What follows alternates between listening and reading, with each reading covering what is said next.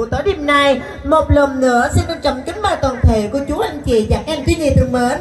Ai còn ngoài đường lộ hãy nhanh chân tiếp thẳng vào bên trong và tìm cho mình một chỗ ngồi ổn định và một chỗ đứng thích hợp để xem cho mình được chương trình ca nhạc đặc biệt cho buổi tối đêm nay. Và phần đầu và quý vị sẽ lắng nghe qua những tình khúc nhạc trẻ chữ tình dân ca trích toàn cải lương thú hài, dân dân và dân dân. Và sẽ đưa ra nhiều chương trình vui mới lạ và đặc biệt, quý vị mình sau cùng, quý vị sẽ xem qua một trò chơi dân gian là trò chơi sổ số lô tô cùng cùng với là đoàn lô tô Sài Gòn Tân Thời. Và quý vị cùng gặp gỡ với là tất cả các dàn diễn viên hay vui mới lạ như là người đẹp chẳng hạn, phi tinh dân, lậu. Và quý vị được biệt danh đó là phi tinh dân hoi nát.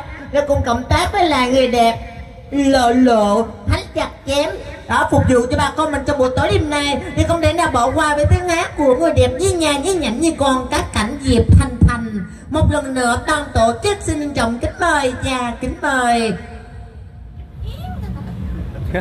Và một lần nữa chứ còn vài phút nữa thôi đoàn lô tô Sài Gòn Tân Thời bên trên chúng em sắp sửa lớp làm biểu diễn chương trình ca nhạc và giờ này. Và mến mà toàn thể cô chú, anh chị, ai cùng đồng lộ hãy nhanh chân biến thẳng và bên trong. Và tìm cho mình một chỗ ngồi ổn trên một chỗ đứng thích hợp để xem cho mình được chương trình ca nhạc đặc biệt cho buổi tối đêm nay. Và bên trong chúng em có những chiếc bàn chiếc ghế phục vụ cho quý vị qua dòng qua những gian hàng ăn uống mua sắm quý vị có thể đem đến tận nơi tận chỗ. Và xem cho bằng được từ bằng đầu tới bằng cuối. Và càng về sau thì càng hay vui càng hấp dẫn hơn để phục vụ cho quý vị mình trong buổi tối đêm nay.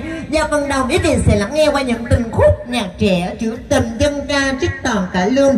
Và sau cùng là một trò chơi dân gian. Trò chơi lơ tô su của lòng đô tô Sài Gòn tương Thời. Được em đó đó là những món quà rất là ly kỳ, hấp dẫn để chào đón bà con mình trong buổi tối đêm nay. Ôi, la la la la. Và một lần nữa ban tổ chức xin trọng kính mời. Và kính mời.